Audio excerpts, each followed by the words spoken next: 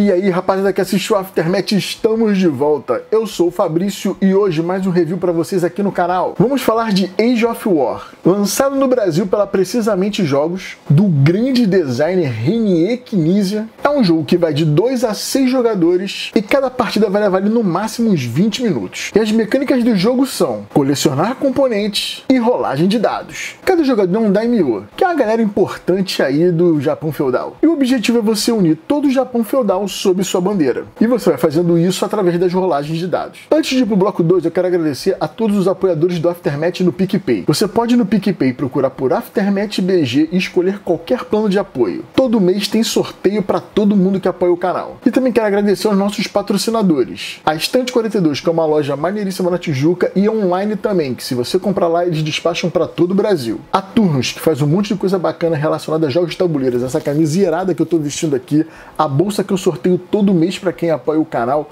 porta-dado, caneca, enfim, um monte de coisa legal. E a Gorilla 3D, que imprime um monte de componente bacanudo para você colocar no seu jogo e deixar ele bonitaço. Na descrição do vídeo tem um link para todos eles, vai lá dar moral para quem dá moral pro Aftermath. E vamos pro bloco 2. Você vai pegar as 14 cartas e vai botar no centro da mesa. Eu dispus assim porque eu acho bonitinho. Depois você define quem é o primeiro jogador e ele vai pegar os 7 dados aqui e rolar. Definido o primeiro jogador, ele vai pegar os 7 dados e vai rolar. Rolou? Você vai pegar, vai escolher um dos castelos para invadir e alocar um dado na sua linha de batalha, né? Que são esses componentes aqui das cartas. Então eu vou escolher isso aqui, ó. Vou pegar um Damio, vou colocar aqui em cima e vou pegar essas três espadas e colocar aqui, porque ele me pede três espadinhas aqui. Eu tenho esse cavalo, vou pegar esse cavalo e vou colocar aqui também. Agora eu tenho que rolar esses quatro dados e tentar tirar um arco e flecha para colocar aqui. Então vou pegar esses quatro dados e vou rolar. Rolei, saiu o arco e flecha, eu coloco aqui, completa a Battle Line. Esse castelo vem para minha mesa, ele pertence a mim, mas ele fica virado para cima porque ele pode ser invadido no turno de outro oponente. O dado passa para o próximo jogador e o outro jogador vai rolar. Ele vai chegar aqui, vai escolher também a coleção de dados. Então ele escolheu esse aqui de baixo, ó. ele vai pegar cinco dados e vai colocar aqui, vai pegar um arco e flecha e colocar aqui em cima. Faltam dois cavalos para ele. Ele vai pegar os dados que sobraram e vai rolar de novo. Saiu um cavalo. Ele aloca um cavalo ali, pega os dados que sobraram e rola de novo. Não saiu um cavalo. Agora que o bicho começa a pegar. Quando sai um resultado que não te interessa, você pode continuar rolando. Mas para isso você vai descartar um dado, pegar o que sobrou e rolar não saiu um cavalo. Eu descarto mais um, só me sobrou um dado. Você vai rerolando até ter dado, não tem limite não. Então vou rolar aqui, ó. Não saiu um cavalo. Quando acontece isso, ele não conseguiu dominar o castelo, perde a vez dele, o castelo fica disponível para outro jogador pegar. Aí o próximo jogador pega os dados e vai jogar.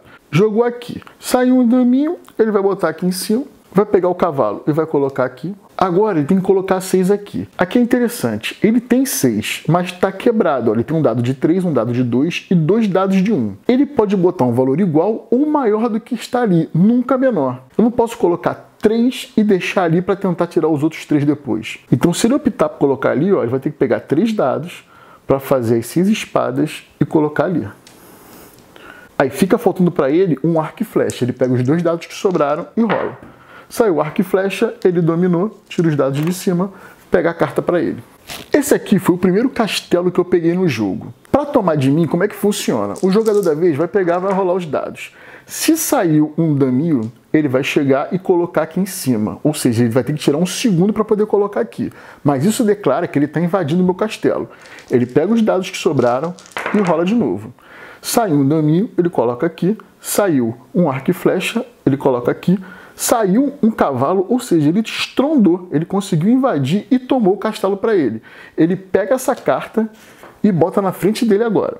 E o jogo termina quando não tiver mais castelo nenhum no meio da mesa. Ou seja, se ainda tiver um castelo no meio da mesa, você pode atacar o castelo do resto da galera para continuar dominando o jogo. Mas se o último castelo do meio sair, o jogo termina. Os castelos possuem cores e essas cores denominam um clã. Então isso aqui é o clã amarelo. Se eu conseguir pegar todos os castelos do clã amarelo, automaticamente eu flipo eles para trás beleza? Eles não podem mais ser dominados. E agora esse conjunto vale 10 pontos no final. Lembrando que antes de ser virado, eles valiam 4, 7 pontos. Então vale a pena você fechar o set collection do clã para poder virar de lado e ele valer mais pontos no final. A pontuação final do jogo é toda a pontuação numeral que tem nos castelos finais que você ficou. Aqui eu fechei todos os amarelos ganhei 10 pontos. Aqui mais 3, aqui mais 3 e aqui mais 4, dando um total de 20 pontos.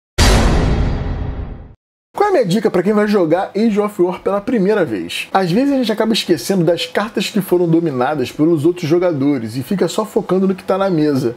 Mas é muito importante você ficar ligado no que o cara tem, porque se ele fechar os castelos iguais ali, ele já ganha a pontuação total no final. Então você tem que ficar focado para ir ali roubar. É você usar ali o símbolo do samuraizinho para ir lá e pegar o cara de volta. Então fica ligado nisso, não deixa o jogador jogar solto não. Se você não pegar de volta os castelos, né, as regiões que foram dominadas pelos outros jogadores, o jogo vai acabar muito rápido. E o que eu achei do jogo? Eu vou começar pela nota. Minha nota para ele é 8. Eu gosto muito do Age of War, acho um baita jogo e eu tô fazendo esse review como um pedido de desculpas. Por quê? Porque eu tenho esse jogo há mó tempão. A minha edição é da Fantasy Flight. Eu comprei ele na gringa, comprei lá na Cool Stuff, ele foi entregue aqui no Brasil. Eu já tenho ele há muito tempo, gosto muito dele e nunca tinha feito review dele.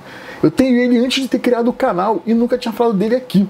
Então decidi fazer o review porque é um jogo que eu gosto muito e que não tinha conteúdo dele aqui. E também porque eu vi algumas pessoas perguntando sobre ele na internet e vi algumas pessoas metendo mal no jogo, falando que o jogo é ruim, que o jogo é simplório e tal.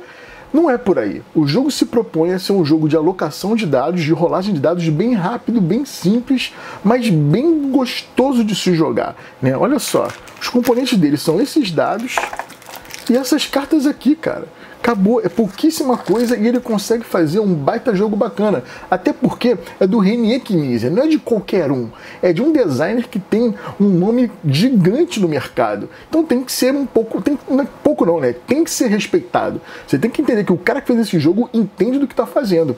E o jogo é realmente isso, é um baita jogo, eu gosto muito tanto da interação normal dele, de você rolar o dado, selecionar os dados ali, alocar para poder fazer, como na interação com os outros jogadores.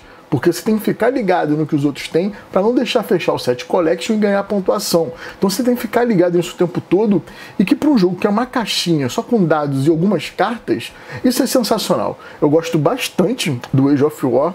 Ele foi lançado no Brasil recentemente pela Precisamente. O valor dele não chega nem a 100 reais, então é uma ótima pedida para sua coleção.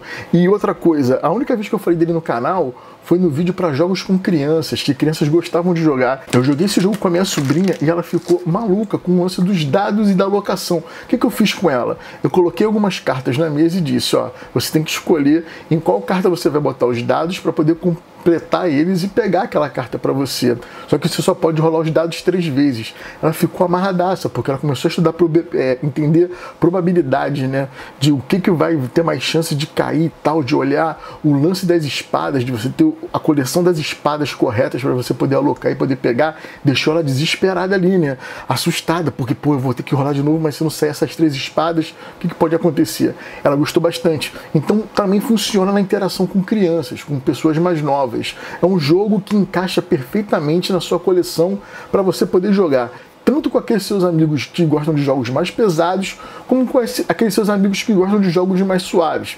Tem um brother meu que ele tem o kit boteco que é um monte de joguinho levinho, pequeno, que ele pode carregar na bolsa, na mochila e levar para qualquer lugar que ele for para apresentar, para jogar assim, despretensiosamente, sacou? Porque às vezes você vai para um evento, que o evento é para fazer um monte de coisa que não seja jogar, mas se você tiver um joguinho ali, tu puxa numa horinha, mostra pra galera e joga. E esse jogo faz parte da coleção dele. Então acho isso interessante, acho isso bacana, né? Você ter esse tipo de jogo na coleção é, e, e a gente tem que ficar mais ligado no que a gente fala. Porque às vezes a gente fica só naquela de jogo pesado, jogo pesado, acha que um jogo pequeno, que é suave, um filler, mas que tem uma certa estratégia, não merece atenção, porque ah, não é um jogo pesado com 50 componentes, sacou? Ou agora a modinha é 10 quilos, é um jogo de 2 quilos, sacou? Não é isso. Ele é um jogo que, tipo, atende perfeitamente ao que se propõe. Então por isso que, mesmo tendo poucos componentes, sendo um jogo, sendo um jogo pequeno, ele é um jogo que para mim é nota 8. Bem, rapaziada, a gente vai ficando por aqui. Se você é novo no canal, inscreva-se, curte e compartilha para ajudar na divulgação. Fique em casa ainda, daqui a pouco tudo isso passa e a gente está junto de novo nas lojas. Beijão, forte abraço, até mais aí.